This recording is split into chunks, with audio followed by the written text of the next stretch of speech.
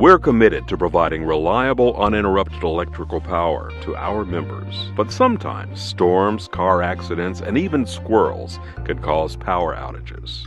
Let's take a look at some of the most common causes of power outages. Animals, especially squirrels, can cause power to fail when they come in contact with specific parts of the electrical system. When a critter contacts this equipment, it creates an abnormal current which can disrupt the flow of power. Your electric co op installs guards and barriers to protect sensitive equipment, but sometimes critters find a way in. Mother Nature can be a tough opponent. Severe weather like thunderstorms, tornadoes, and hurricanes, and the accumulation of ice and snow can cause tree limbs to fall on power lines, resulting in an outage. Unfortunately, power outages can also occur when vehicles or farm equipment crashes into a utility pole, which can easily bring down power lines and damage other electrical equipment. Has your power ever blinked on and off for a few seconds?